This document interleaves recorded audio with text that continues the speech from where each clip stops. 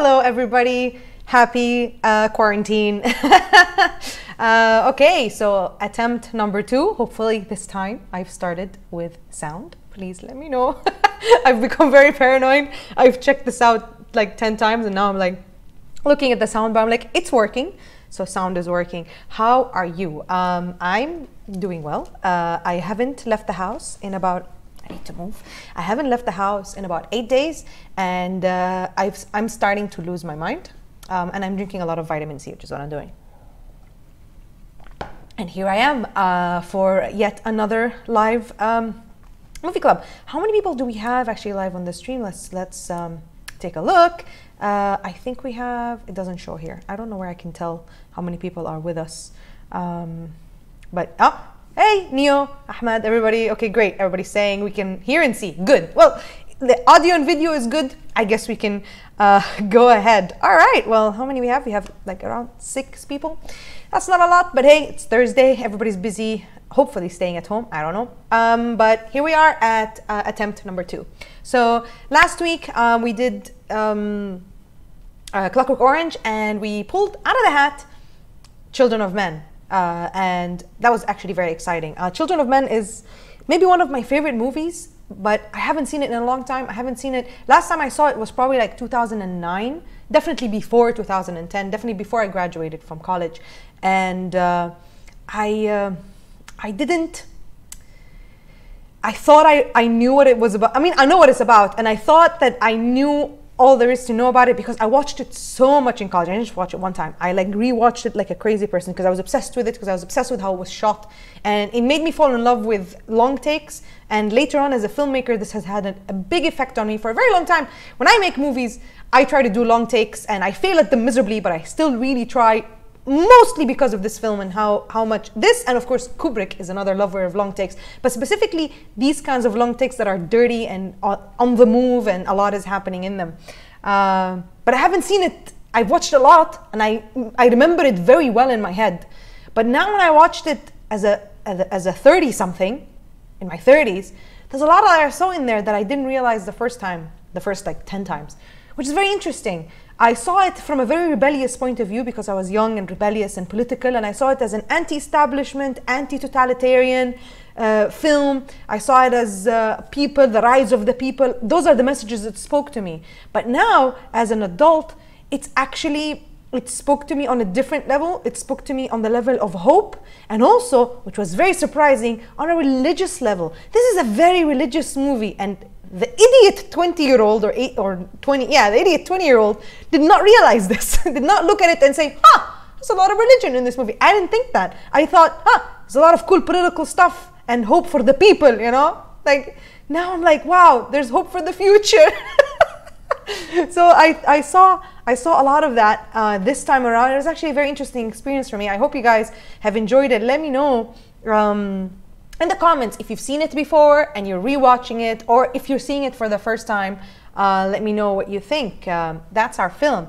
So uh, let me just start off by a little bit of uh, information about um, Children of Men and what it means. I mean, look, at the end of the day, this is a fantastic film. Uh, nobody can really deny that uh, Children of Men is a movie that, when you watch it, it really does grab you.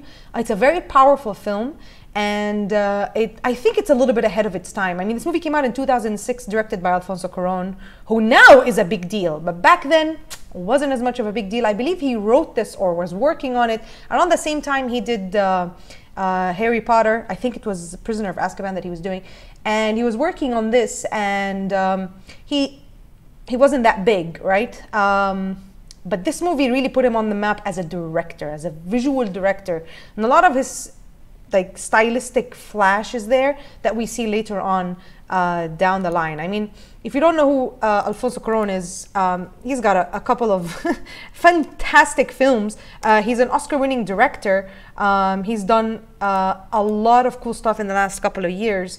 Um, uh, Roma being the last one, he's the one who did Roma, which again utilizes that um, unbelievable, uh, it, like long takes and things like that. Uh, Gravity as well, and of course Children of Men. And yes, it is Harry Potter and uh, uh, Prisoner of Azkaban is what he did, and he brought that dark, edgy feel to Harry Potter. I feel that later on was adapted really well.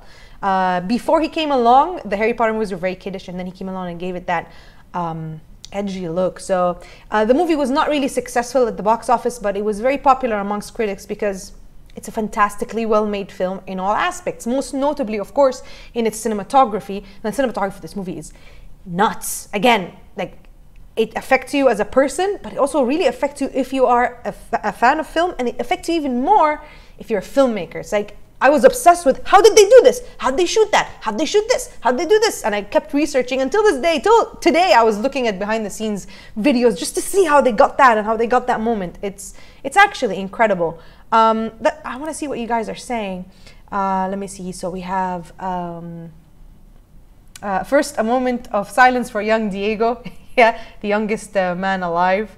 Um, Steven says, I haven't seen it in years. Similar experience of not realizing how much was going on in the film. Yeah, there's a lot of crazy imagery and, and metaphors in there that I did not realize the first time around. I did realize that it was philosophical and it was about humanity and hope, but I didn't see it in the light that I'm seeing it right now as a more cynical, more beaten up adult person.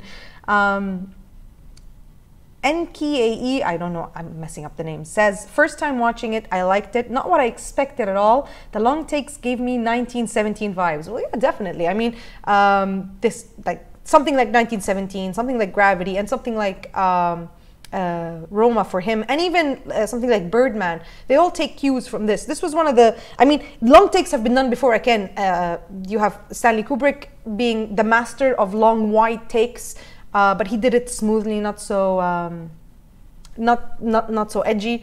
Uh, you have, of course, even um, um, uh, Alfred Hitchcock has one full take film, which is Rope. So it's been done, but you know, this is a little different. Um, his style, and we saw a lot of people adapt it later on. Um, it's a postmodernist look at, at film and cinematography that I think is wonderful.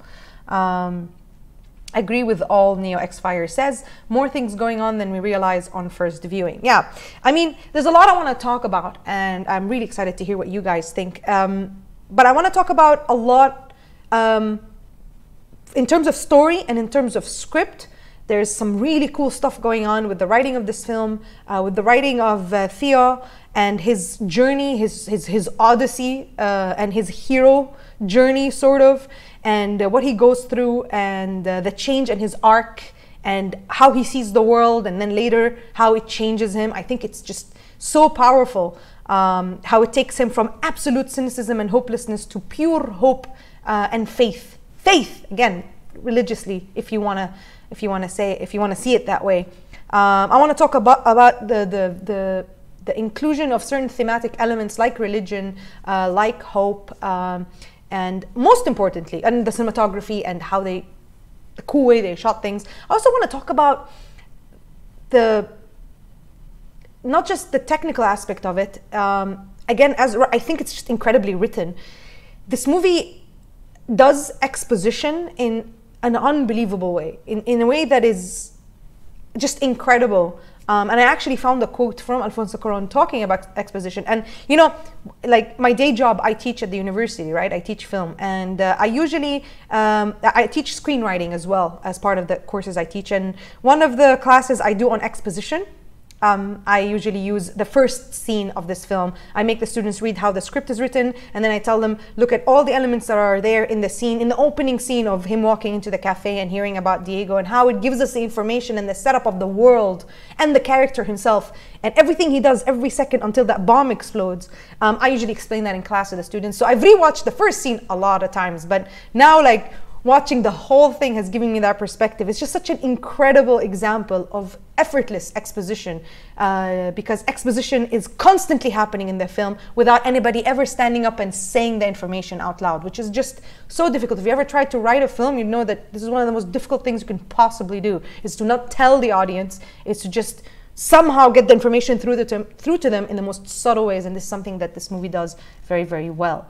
Um, the film ages very, very well, like the previous one. I, I guess you're talking about, um, this Neo talking about uh, Clockwork Orange.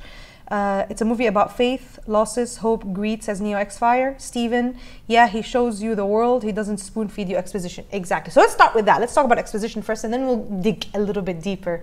Um, let's talk about that. So that's the cool thing. Uh, Steven, you're saying that he doesn't spoon feed you exposition. Absolutely. So how does he do it? How does he do it? No editing, we're live. Um, the way that he does it is the exposition of the film is constantly in the background. And this also goes to talk about the unbelievable production design that is in Children of Men. Unbelievable. I believe it's nominated for production design. Probably should have won. I don't know what it lost to, but oh my God. There are so many elements in the background that are constantly, constantly telling us about the world that we live in, right? Starting with that first opening cafe scene where you have people just staring at the staring at the screen. I love that there's so many animals in this film, um, and uh, and there's a lot of. I mean, that's a question to you guys. There isn't. I think there isn't a single scene that doesn't have animals in it. There isn't. Um, whether it's dogs, cats, goats, sheep, uh, cows. Um, even like in the final scene in the climax when they're in the build trying to escape the building, there's chicken. There's always animals in there, and I don't know. Sometimes I feel like there is that that is sort of biblical maybe but also i feel like because human beings um, care for animals in this world because you know humans are infertile they don't have children so they they have to take care of something so maybe they sort of fulfill that need because everybody has animals and in that opening sequence or opening scene when they're in the cafe staring at the death of baby diego a lot of people are holding dogs and when he walks out a lot of people are walking dogs because they don't have children so maybe they have pets instead um, steven says expo is tricky uh, Erica uses a good word in incident. You used another good description, exposition in the background. Yeah. Oh, what did Erica say? Yes, that's the first thing I noticed how all the detail of the word are given incidentally. Yes, exactly, exactly. So the first sequence, you see people looking up and you see people just staring at the screen and they're all middle aged. There's no young people at all. And then you hear Diego died. He's the youngest person in the world, died at the age of 18. Then you see Theo walk in and you see, the cool thing about Theo is that he walks in and he just, he doesn't care. It's like something so destructive to people has happened and it's a reminder of their loss of hope because before Diego was alive, Diego represents future and it's dying and they're looking at it and realizing this. Except Theo doesn't seem to really care, just takes his coffee and leaves because he's he's a veteran of hopelessness. He, he he gave up a long time ago, and he says it to Michael Caine, who plays an incredible character, by the way. I love his character in this film, uh, Jasper. Um, he tells him that you know the world went to crap way before infertility happened, you know, and again we know that he lost his child even earlier than that. So he lost the world a long, long time ago. Um, and that's also there in the beginning of the scene, how he walks away from the fr- from the cafe, and then you see the world. You see these like uh, very um, um, 1984 dystopian uh, government controlling. Um, you see everything is dangerous. You see people like driving tuk-tuks and and things because you know the world's economy has been destroyed because there's no young people to work, and you know you know make the, the economy you know strong and powerful. So uh, you see that you see the world they're living it's dirty of course and damp and dark and depressing of course and everybody's depressed and uh, dragging themselves along. So it's just really it's really incredible. Uh, you see so much about the rest of the world even though we never leave it right? We know what happened in new york. We know that something really bad happened. At some point we see in the news like a, a mushroom cloud over new york. So probably they they had like a, a a nuclear attack. We, we see that all the other countries have collapsed, and we see that refugees are coming in because the other countries have collapsed, and how they're being treated. We see like through windows when he's uh, the whole every time every time with Theo somewhere in a location, the camera does this little pan, and it shows us out the window what is happening outside, and that just speaks volumes about the state of the world and everything that's in it. And it's just incredible exposition. They really put you in in that place without even thinking about it for one second. I mean, Alfonso Cuarón is, is really crazy. Um, let me see. Um, sorry, my connection got weird, Neo. That's okay. Uh, Steven says, I didn't notice about the animals at all. Yeah, I mean, I, I, I, I, still, I don't really know because I just noticed it for the first time now. I didn't like research, I didn't have time to research it. But there's an animal in every scene. I noticed it somewhere towards the middle of the film because I love animals and I just paid attention. Then I'm like, why is there an animal in every scene? Is it a biblical thing? Is it, I mean, we can't we can't refute the fact that how how how religious this movie is um, in its themes about hope and also in its themes about you know the miracle child and how the birth of a miracle child brings home back uh, hope back to humanity. And it's all about faith not knowing whether or not something is real or happening. The whole them looking for tomorrow and looking for the human project. So about the search of something that's not tangible, that is theoretical, but they still have hope.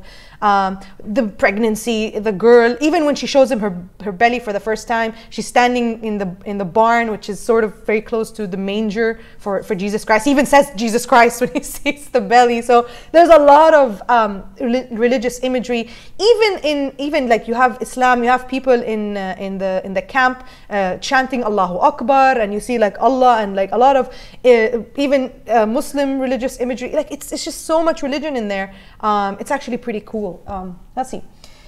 Um, uh, uh, Stephen says, and his indifference saves him. Ex- that's true. That's true. We'll talk about that when we talk about his personality. Yes, that he, the fact that he's indifferent makes him not stick around in the cafe to look at the screen, um, which is, uh, which when he leaves, he leaves quickly and all of the people who cared and stayed inside died to a bomb. So we see that his indifference or his apathy um, saves his life. Um, and it just enables him, you know, it enables him to not care until, you know, our inciting incident or something happens that forces him to care, you know. So yeah, that's an interesting point, Stephen. Um, let's see. Uh, Stephen also says, yes, this was the first time I saw Michael Caine playing a role so out of character. Yeah, he's like smoking weed and stuff and farting. It's, it's pretty cool. Neo. Uh, one thing I love about the film is we're very, very close to a world that's like it. The visionary predictions in this film are insane. Um, can you elaborate? What, what, what do you mean? the world isn't like that now. I would, I wouldn't, I hope not. I mean, I think there's still hope for us. I mean, maybe you know they had like a, a flu that killed off a lot of children, including his his son. So, you know, corona. but I don't know. Uh, how, how do you think it's, uh, it's, I mean, I'm not disagreeing, but I want to know exactly. Can you give me examples of how close is it? How close is it in predicting this future? Um, Stephen says, I noticed that too about the barn scene. Yeah, it's uh, very, very biblical. Um, children of men, son of man. Well, yeah, well, children of men is actually from the Bible, I found out, um, from Psalm 90, I think. I, I'm not Christian, I don't know the words, but hey, if you guys can research it, put it in there. Uh, there's a quote in the Bible that has the, the phrase children of men, and that's where that um, comes from.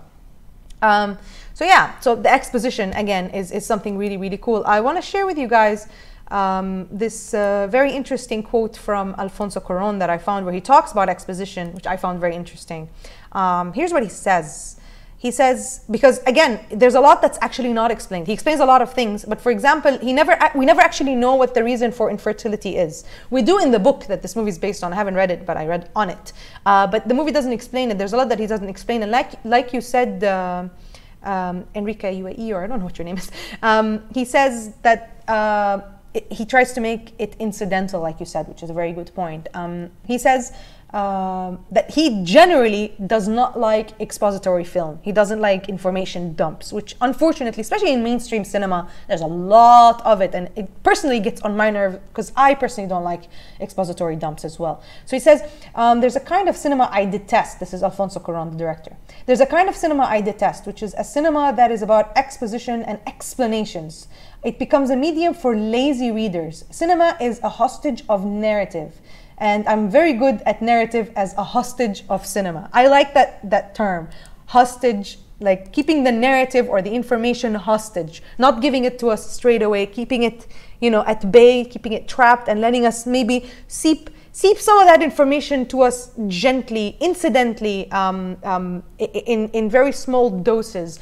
I like that. And I see now, now when I look at a lot of his films, I see that he really does do a lot of subtle exposition in a very in, incredible way. But I don't think it's been done better than, than Children of Men. I mean, you, you, you can feel free to, to disagree with me, but I don't think it's been done better than Children of Men. I, I, just in terms of exposition, it's just unbelievable. The amount of information we get in the background is just so much. Like there's like four or five films happening in the background. And again, look at that unbelievable production design. It's just part of it. I think the production design for this film is incredible. I'm insane that it didn't win uh, an Oscar for it because it's it's nuts. You know, there's especially like for example, I, I was looking at the scene uh, where he is kidnapped um, the first time when Julianne Moore kidnaps him and uh, tries to talk to him and they put him in a room full of newspaper have you actually have you guys tried reading the stuff that's on the newspaper it's nuts okay? There's so much this they had to do this you know? None of this newspaper none of these newspapers are real.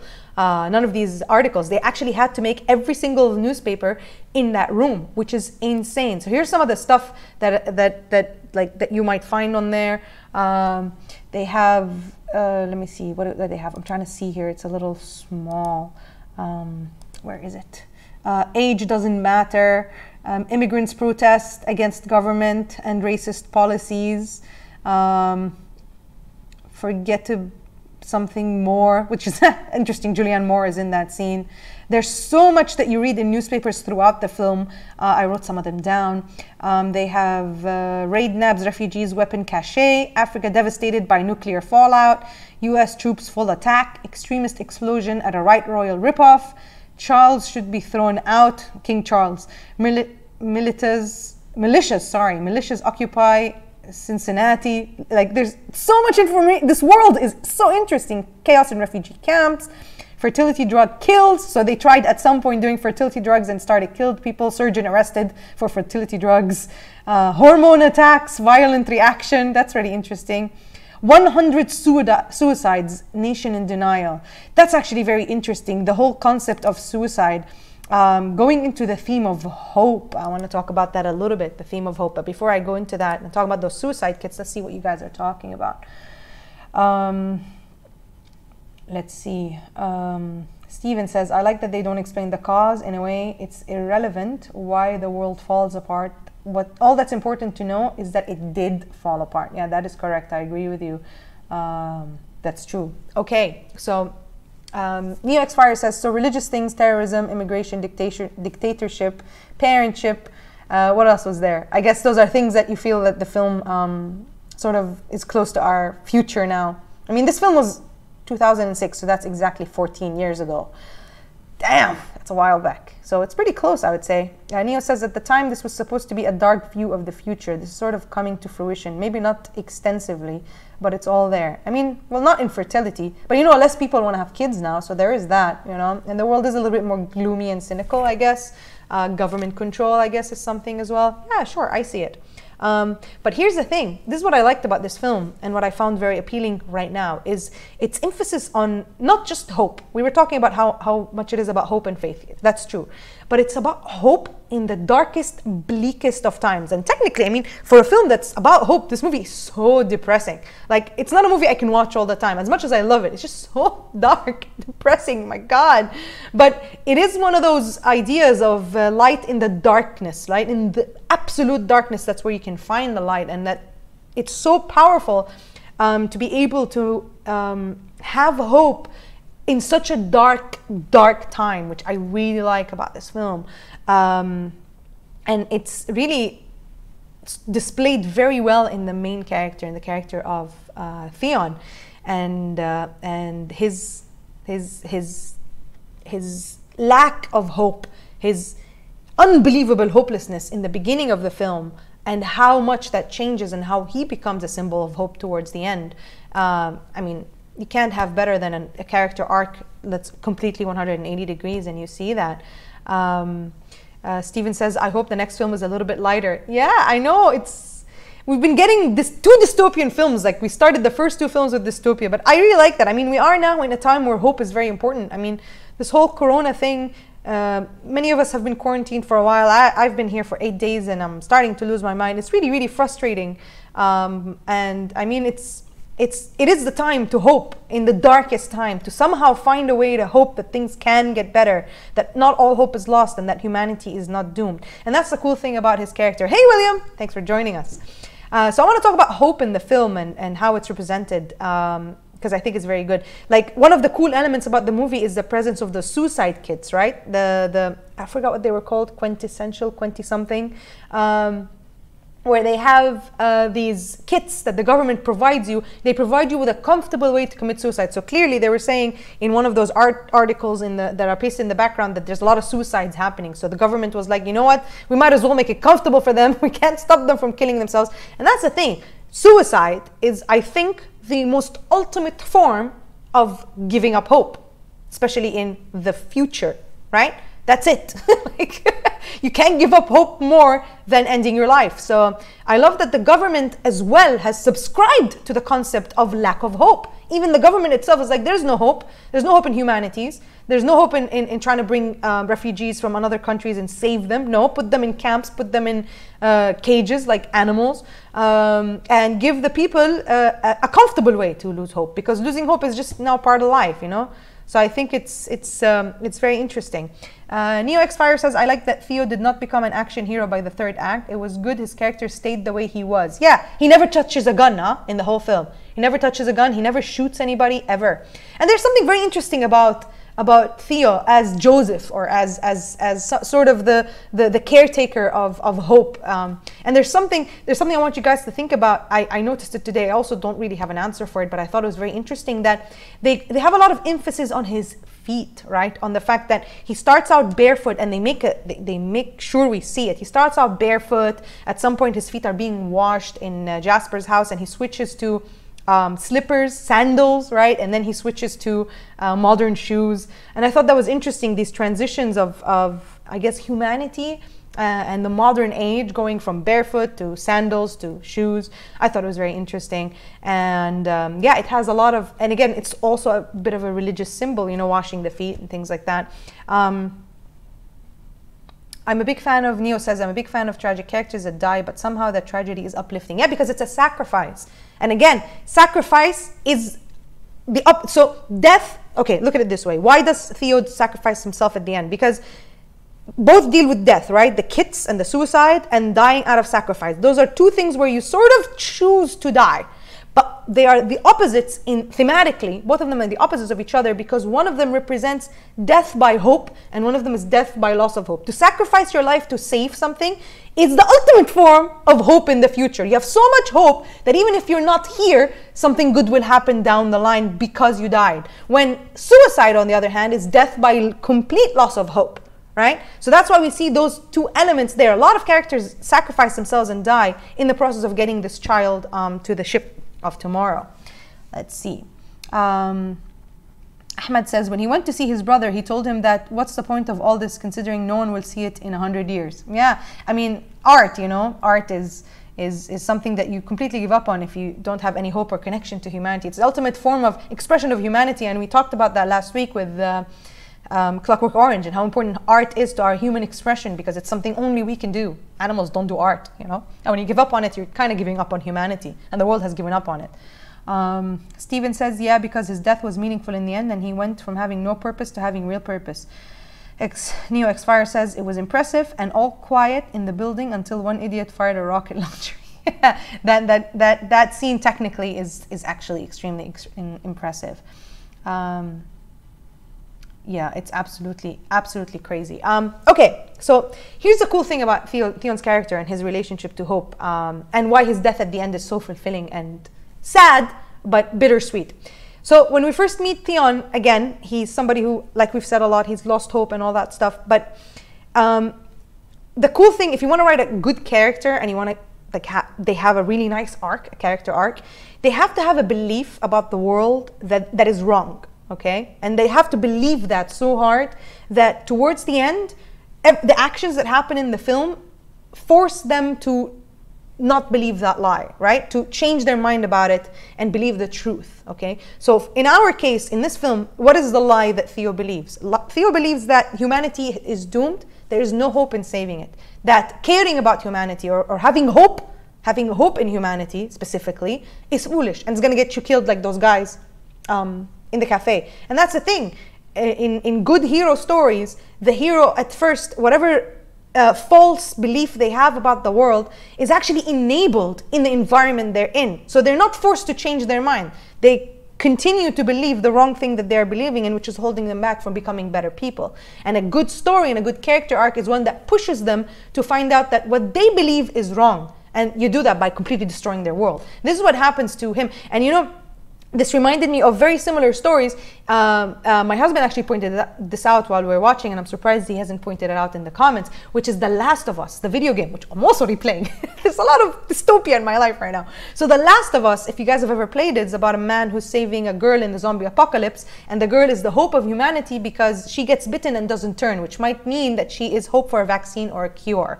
Um, and he has a connection with her. He had a daughter that died, and now he's taking care of her, and she reminds him of his daughter. Very similar to this, huh? Very similar to this. And again he has he's somebody who is self-serving has forgotten about anything and he believes the lie that it's okay to just protect yourself because he lives in a dystopian world where you have to not trust anybody and not care about anybody in order to, to survive. And then she comes in destroys his world and pushes him to believe a different version. And then he's willing to give up everything to save her right so The Last of Us is incredible. Steven says, yeah. Another film that did this very well, and like there's a very nice comparison between that and this film, and uh, and I was reminded of it as well, is Logan right? Logan has a very similar thematic uh, story, right? And storyline where you have Logan who's not, he's given up on the hope, not the future of humanity per se, it's the future of the mutants, right? Because the mutants are dying. Like instead of humans, here humans are going extinct because women can't give birth. In Logan, it's mutants are going extinct because nobody has any mutant powers anymore. And then in comes this girl, right? X27, who uh, happens to have mutant powers. And like right at the end of Act One, um, it kind of comes in and um, she crashes his world. And he watches people like Dr. X die in the process of saving this girl, the hope for mutants. Same thing with The Last of Us. The character The Last of Us watches people die for her, for Ellie. And here, same thing. He watches Julianne and other characters sacrifice himself, and the nurse that's with him sacrifice herself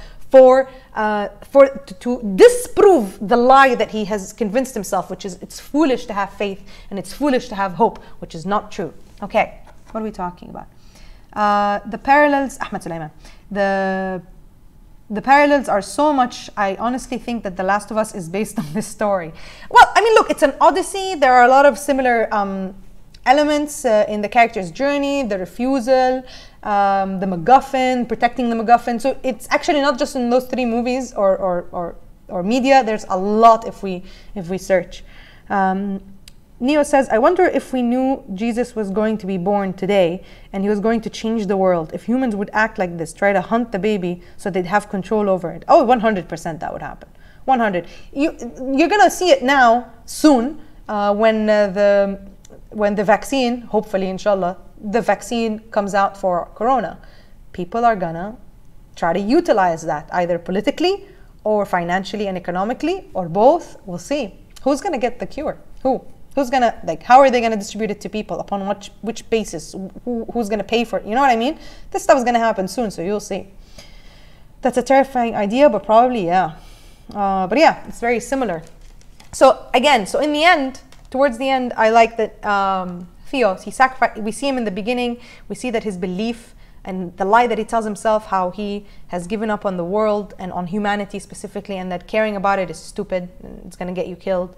And then in the end, he completely flips to uh, 180, complete 180, and that's a fantastic 100% full arc. Um, and we see it in a lot of cool character stories. What else we got? Enki says, Enki, I don't know how to say your name at all.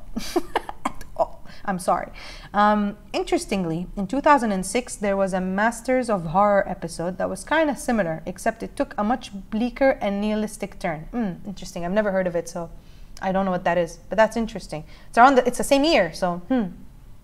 Um, William says, Do you think it is a reflection of our times now, meaning in post industrial nations, our birth rates are below replacement level. Yeah, I think it's true. I think I think it's. I mean, there is that sentiment of cynicism um, that is very rampant right now in the world, and you know, and again, more people, more and more people are choosing. Forget infertility. By choice, they're choosing to not have children. And I've heard this from a lot of people saying, What kind of, I don't want to bring kids into this world. Like, I've heard people say this, you know. Imagine how it is in, in nations that are at uh, worse conditions than where we are here in the UAE. I mean, we're doing really well. But imagine there's a lot of people around the world who are just very cynical and uh, don't want to have children, don't want to bring children into this world. I've heard it from multiple people. So it's very, very interesting. Uh, definitely, this is there are mirrors there that the guys were talking about earlier.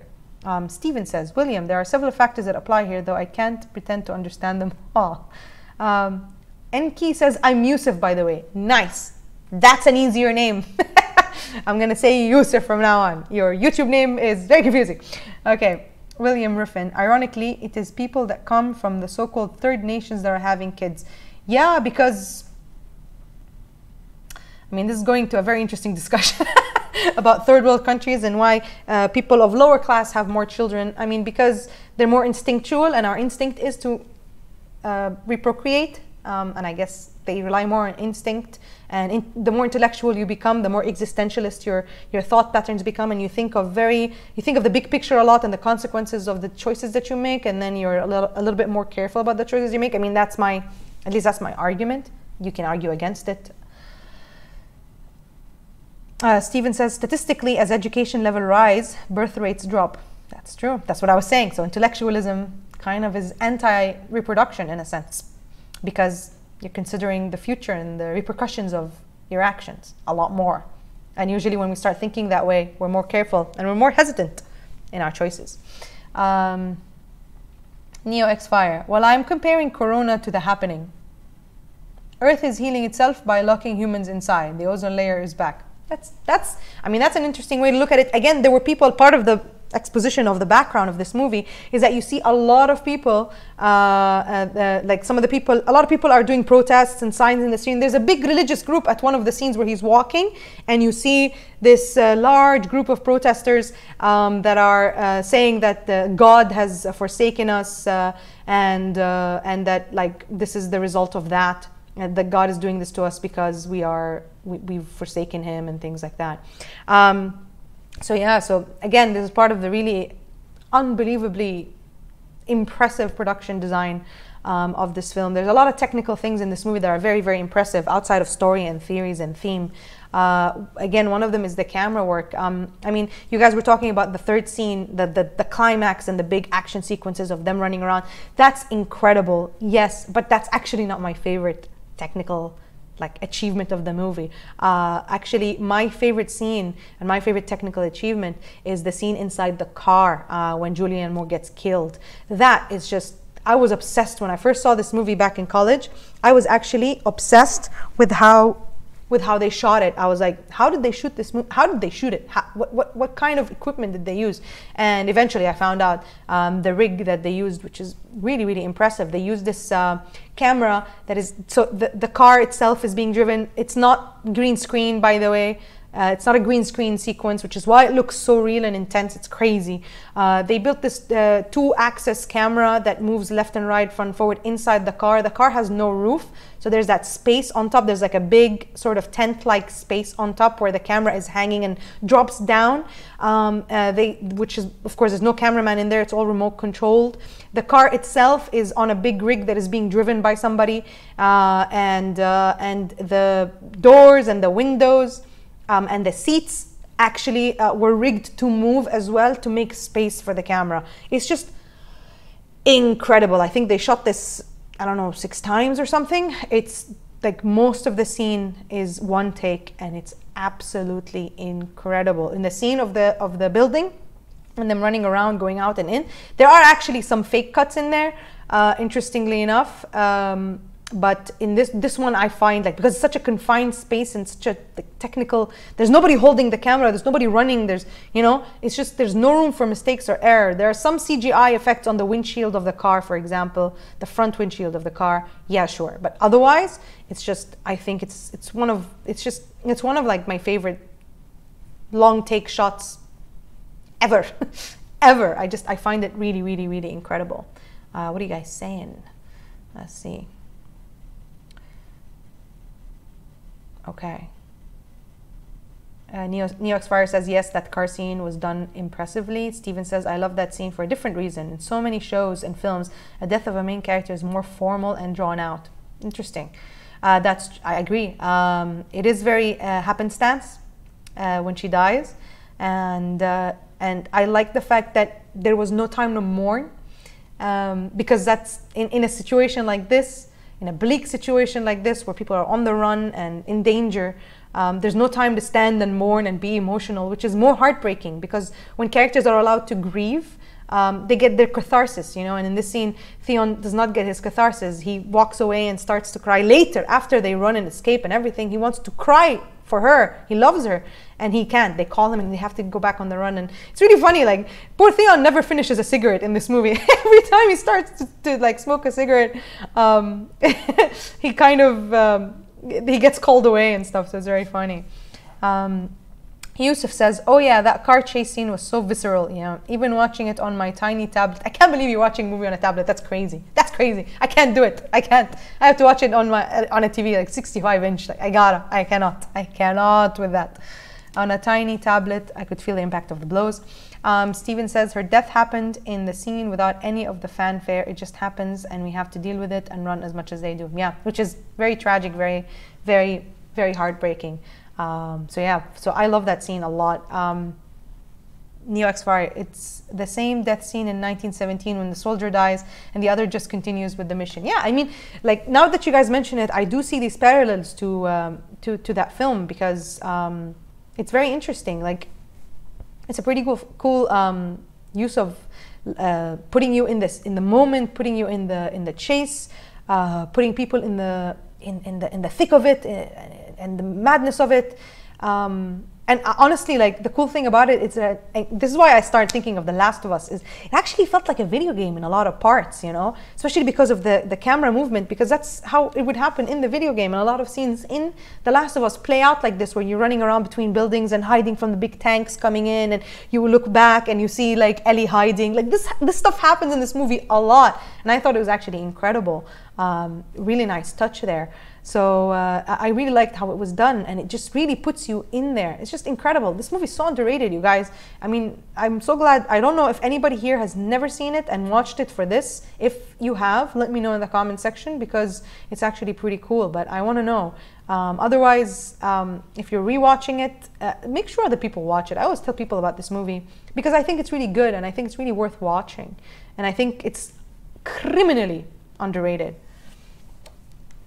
it's just so beautiful. Um, I would especially like, you know, there's a scene, and visually there's a lot of motifs. I mean, it's not just cool and it's not just um, like visually impressive in terms of technicals, also in terms of storytelling, it's extremely, extremely, extremely powerful. Uh, we were talking about all those um, religious, uh, religious imagery and things like that. I especially like the scene where they go to the school.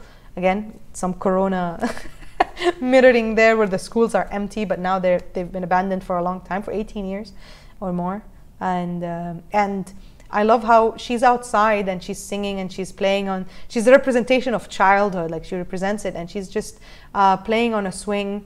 And he's there, and uh, there's a moment. I don't have the image of it, but there's a moment where um, he's standing and talking to the nurse lady, and you see her inside a a, a, a, circular crack in the in the window and that looks like a womb like it looks like a pregnant woman's belly. And it's actually used in some of the uh, some of the marketing material interestingly enough.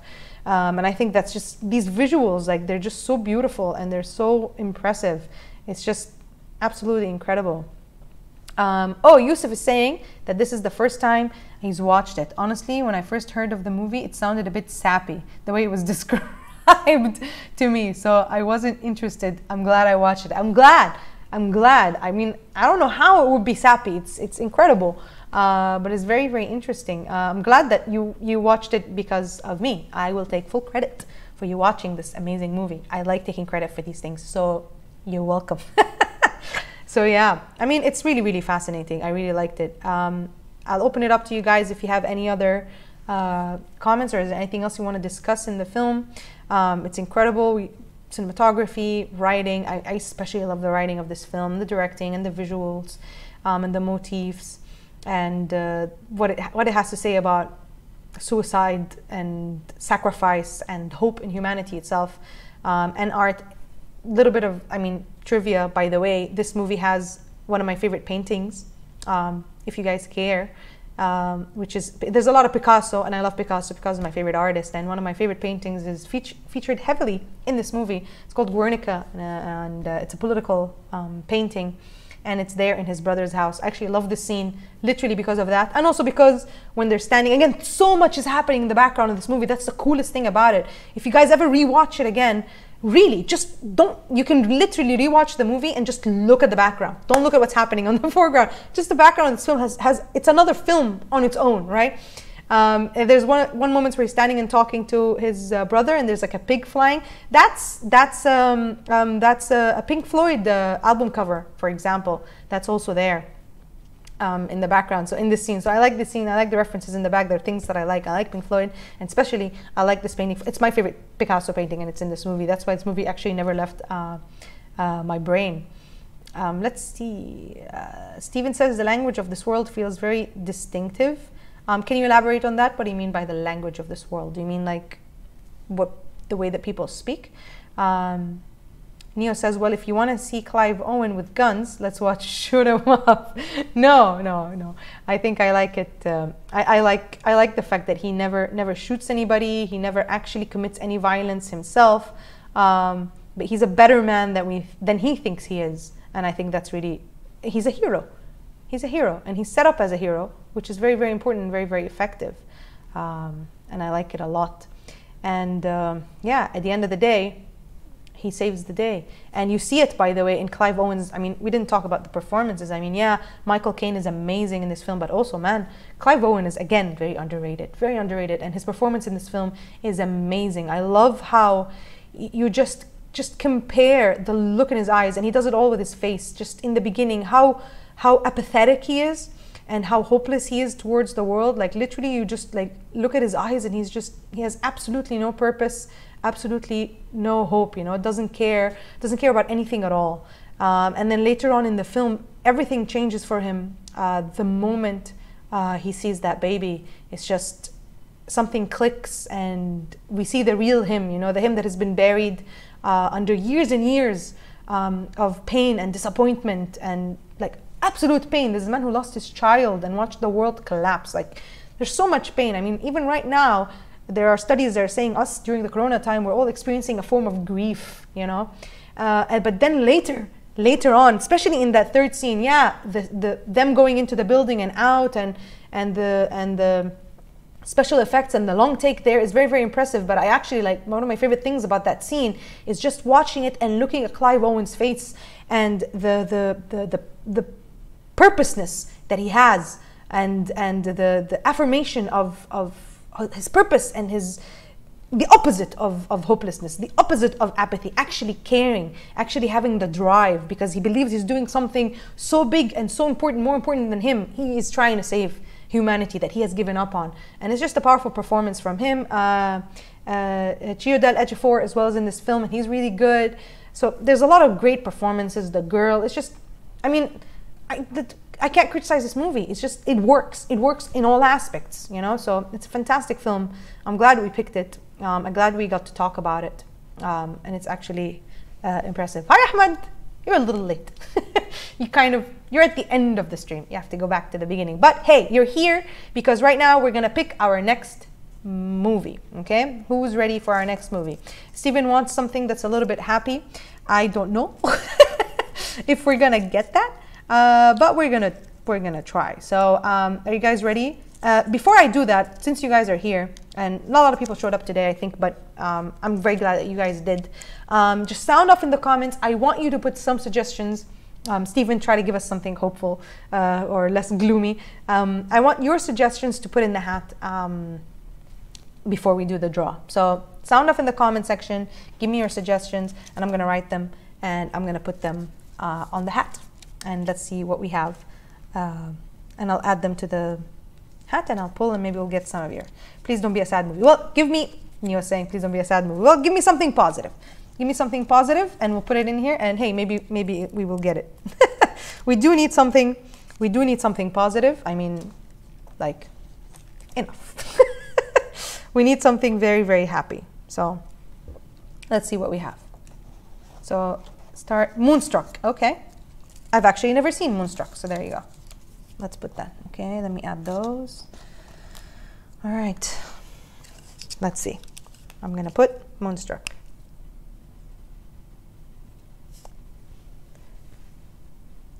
uh, Ahmed Sulaiman wants Silence of the Lambs. It's already in there. It's in there, and that's not that's not happy, is it? Is it a positive movie? I don't know. Moonstruck. All right. Good Will Hunting. Mm, that's a nice movie, definitely. Good Will Hunting. Okay. Kurosawa, Neo says. A Kurosawa. Does Kurosawa have anything positive? Well, can you pick a Kurosawa movie so I can put it on here? Give me a Kurosawa movie. Let's do. Let's do it.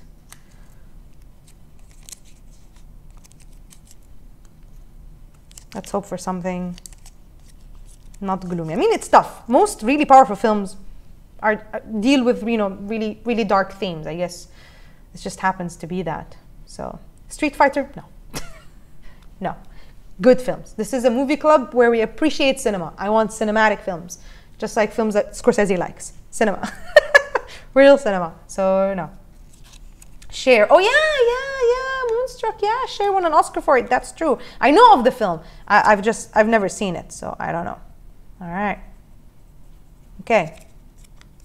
So, any other suggestions, guys? Rashomon. Whew, I love Rashomon. I've seen it. It's fantastic. Even if your uh, pick doesn't happen today, um, I mean, I'm adding it to a big pile, but hey, maybe next week. Okay, so let's see. So, what do we got here? All right. Okay. What else? Anybody else? Anything else before I do it? Cinema Paradiso. Wow. Neo is going super classic. Cinema. I love that movie. I love that film. It reminds me of my childhood. It was me as a kid. Cinema Paradiso. It's just absolutely fantastic. Brazil. Oh my God. That is not happy. You said you wanted a happy movie. That's not happy. Brazil is destructive. It's a great film. It's uh, what's his name? This this director like Brazil. Um, God, what's his name? Uh, Gillen, Gillen, Gillen. Uh, damn it. When I try to remember something real quick, I lose it. Terry Gilliam. I got it. Okay. Terry Gilliam, yeah. He's a cursed director. All his films have had disasters, including Brazil. I believe Brazil had a chair that he was sued for. Like every film he's done has been a disaster. Poor guy. Anything else? Anybody got anything else?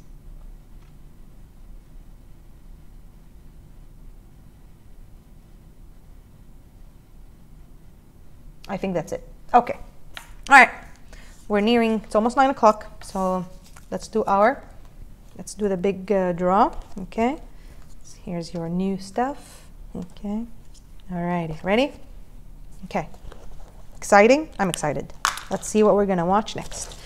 I want classic film, classic, classic, classic, classic, more classic. These films are, I mean, Clockwork Orange is really classic, but this one is relatively new. Hopefully something classic. All right, here we go.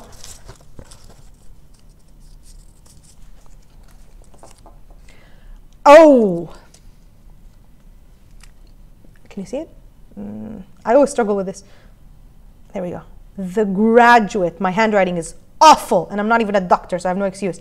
The gra- that doesn't look like the graduate, but that I swear that's what I wrote. Looks like the graduate. the graduate. Okay, so here's the fun part. I've never seen it. I actually have not seen the graduate. I've seen clips of it, and I'm obsessed with the soundtrack because I love Simon and Garfunkel, but I have not seen the graduate. It's one of those films that I've never seen. So um, there we go. Cool. Awesome. Okay, so before we go, give me your ratings in the comment sections for. Um, give me your ratings in the comment sections for uh, this movie. For me, Children of Men is a 9 out of 10. It would be 9.5 if it wasn't so depressing and had more rewatchability. I just, I think it's perfect, almost perfect in a lot of ways. So I love it. Um, so yeah, Mrs. Robinson. I've, again, I've, I've seen that scene and I've seen a lot of scenes from The Graduate, especially in film school.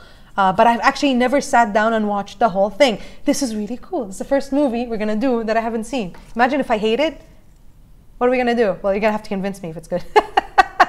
uh, Neo X Fire has never seen it. Cool. Okay. Well, it's a classic film. It's an iconic movie. Uh, Ahmed Sulaiman hasn't seen it. Uh, Steven says it's a great one. I guess you have seen it. I want to make suggestion, but I no no.